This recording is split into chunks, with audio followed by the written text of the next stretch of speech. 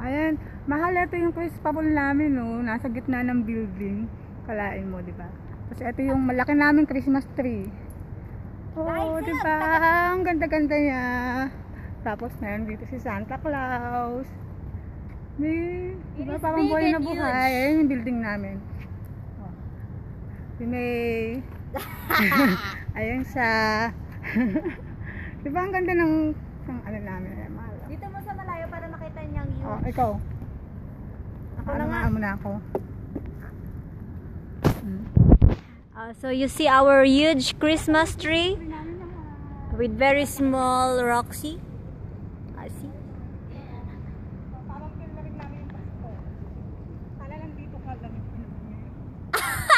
Sinabi ko lang malamig. Alam na this. Mag-post ka dyan, te. One, two. Yan, okay na. Tapos mamaya i-crop mo na lang. yung video, oo. I-post mo, tapos i-crop mo. Love you. Half you daw. Hindi I love you. Love you. Half you daw eh, half you.